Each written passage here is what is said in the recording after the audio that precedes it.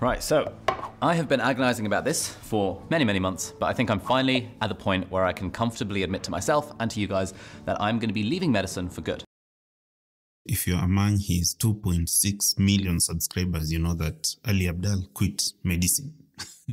but that's for a good cause because you know he's grown a very nice, massive productivity YouTube channel, which is bringing him some good amount of money and so, yeah, he can comfortably quit medicine. But that's besides the point. I recently came across another YouTuber, also a doctor and an orthopedic surgeon at that in the US. And he's made a video which I thought, hmm, this is quite something. It just got me thinking, you know, so many people actually think about quitting medicine for various reasons. And top among them is actually the kind of stress and the mental pressure that medicine in itself gives you. I just thought that this video by one Antonio Webb, MD, is actually quite an eye-opener and I thought let me just make a reaction video to it. Not because, you know, reaction videos tend to do well, but actually because I'd like to amplify the message in his video. Let's get into his video. This is probably one of the most difficult videos that I've ever made. Almost 30% of medical students and residents suffer from depression and 10% report having suicidal thoughts. At this point, let me drop my headphones. Um, 30% is quite a great number. A third of medical students and residents, that's guys who are pursuing masters in medicine or postgraduate studies in medicine, have reported depression and 10% report having suicidal thoughts.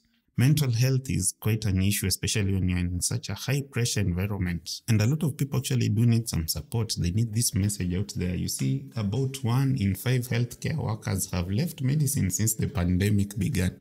So you can imagine the stress of normal day medicine, plus now the kind of added pressure that came in when COVID came about.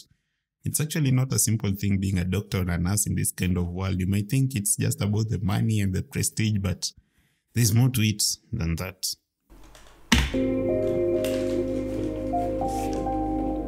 This is my second year in practice, and going from being a trainee to being a full fledged attending can be a rough transition for a lot of people.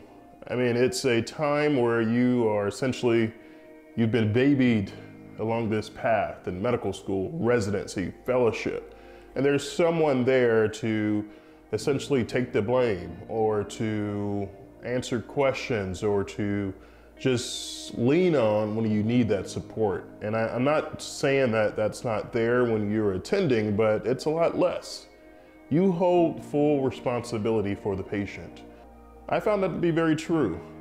Going from being a very busy fellow at a really busy fellowship where I ended my fellowship on trauma surgery to going out into practice where my practice was very slow. So that, that was a rough transition for me. It might actually be quite some stress going from the very busy schedule you're used to as a resident. And that happens even over here. Like when I was doing my residency in orthopedics, you know, there's all those calls I needed to attend to at night and so on. By the way, since I became a consultant, I've actually never been called for any night duty. I actually do much less work than I did when I was a resident. And yeah, it can be a bit stressful, especially if you are going to set up a private practice and you know it's like a business, you're not getting that work, you're not getting clients really because you're just starting up. I guess we all go through that phase and it can be a bit stressful. and it was a, it was a rough time for me. Just being so busy as a resident and fellow, all of a sudden, you look around, there's really nothing to do. So you're building your practice. And this is quite normal. It takes three to five years to build a practice.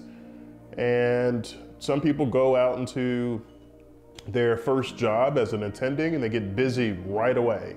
There's no spine surgeon there, there's no neurosurgeon there, there's no dermatologist or if there's no one there, or if you're in the area that doesn't have your specialty, well, you're probably going to get busy really quickly. Most other people, it takes time. True. Um, in my case, where I work, we actually now two orthopedic surgeons. Uh, I found one surgeon who'd been around for maybe three, four years. So I'm not actually as busy as he is because, you know, he's had his roots down on the ground and I'm actually just starting out. So, yeah. You know, going from this busy lifestyle as a attendee or a fellow or resident and you go out and practice and it's pretty slow. There's the responsibility that if you operate on a patient, that's your patient forever. Oh, such a heavy statement. Actually, the responsibility that comes with being a consultant is a considerable thing. When you are a resident, like when you are training, if something happens, it's the department, you know, patients belong to the hospital. It's not like on a personal level, you have nothing to answer for, you are not concerned about anything, but the issue is when you become a consultant, you know, you make the decisions, you stand by your decisions. Your patients will keep coming back to see you. If something happens, you know, other people will know, you know, this was done by this consultant. In my case, I've actually had some tough incidences, which might be fodder for another video. But yeah, so far, I actually feel the responsibility that comes with being a consultant. Uh, you have to own up to the responsibility. You have to own up to the complications that may arise. And as a surgeon, you're going to have complications. that is true. I remember when like we were residents and sometimes you'd get a patient referred from somewhere or something and they had some complication. But then as residents, you know, you say, um, who did this? You know, this is by another consultant and so on. Yeah, in as much as a lot of complications are preventable, but the truth is, when you're a surgeon, you will have complications at some point. I know that definitely these things will come. It's a question of how I'll handle them. But um, my goal, my motto is literally to just do the best that I can do and hopefully keep them at a minimum. Any surgeon that tells you, hey, I don't have any complications is a lie. You're going to have them. You just know how to deal with those complications.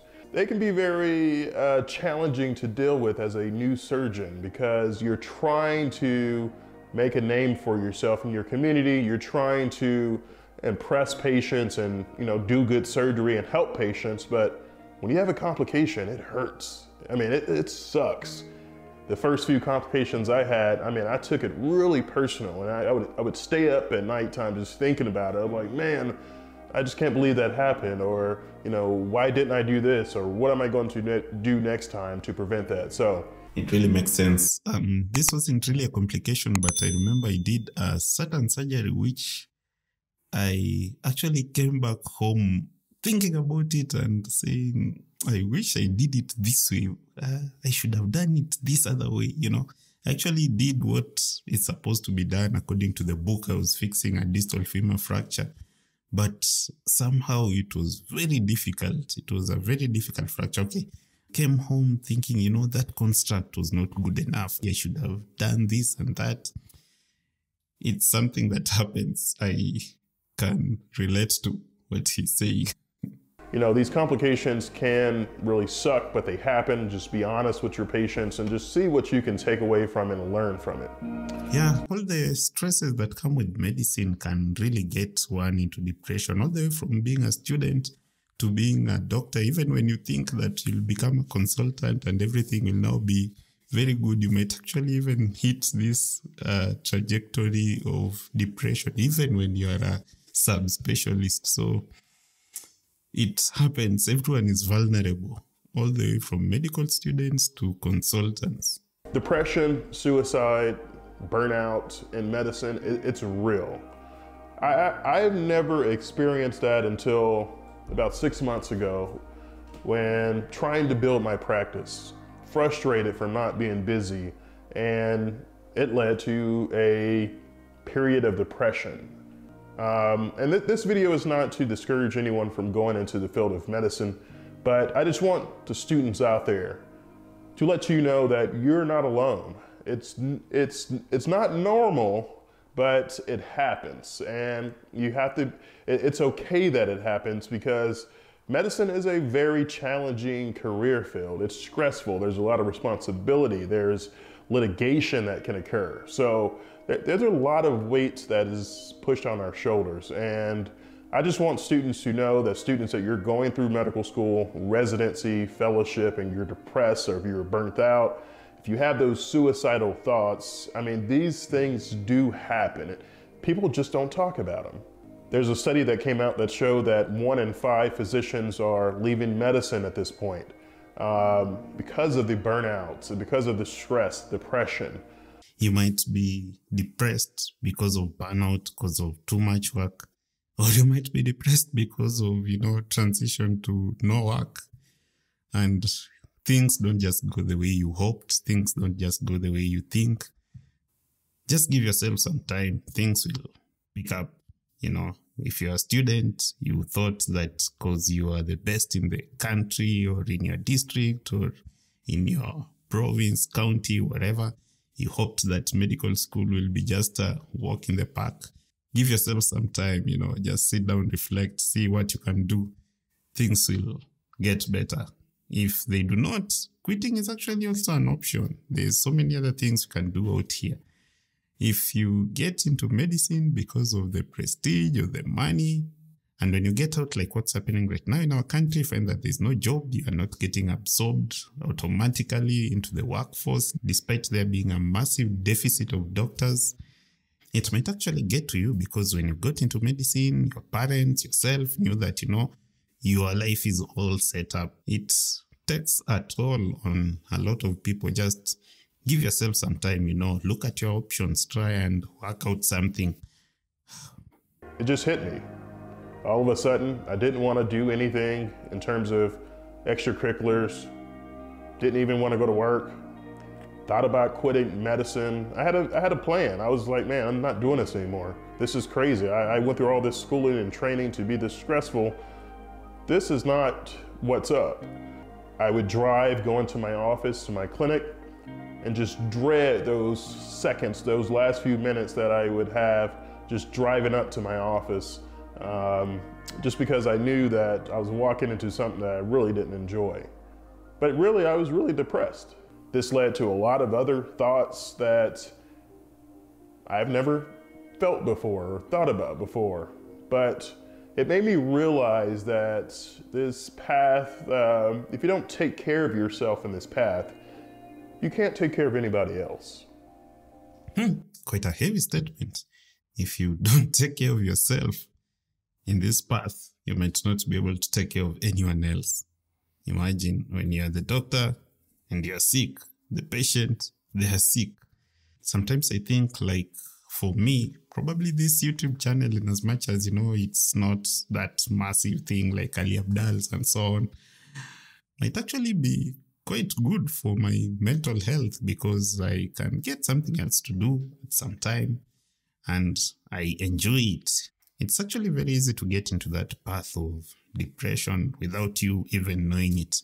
So, yeah, it's always good to, in whatever field of work you are, get something else that gives you a bit of pleasure that you can spend some time on that is constructive and you know can just help you put down all that weight that comes with your day to day symptoms of depression loneliness tired all the time fatigue at this point you can actually pause the video and read some of these things uh, these are the symptoms of depression just in case you're actually getting depressed without your knowledge.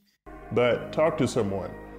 Make sure you have an outlet to medicine, whether that is working out, traveling, spending time with your loved ones, some hobby. You need some out. And that's what we're saying. You need some outlet to medicine. Can just be a simple, cheap hobby, but it might just keep you going. You can't be all about medicine 24 7. That's what I did when I was taking three weeks of call, working late hours for three weeks straight. And so essentially it burnt me out. So if you've experienced some of these things, make sure you talk to someone about it. Put it in the comments below. Let me know how have you dealt with it.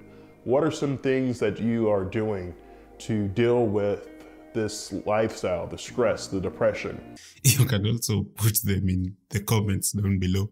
What do you do to deal with depression, stress, and so on? And if you have actually experienced any of these things, how do you go about it? What did you, what was your experience? If you can share it, probably it will help someone else.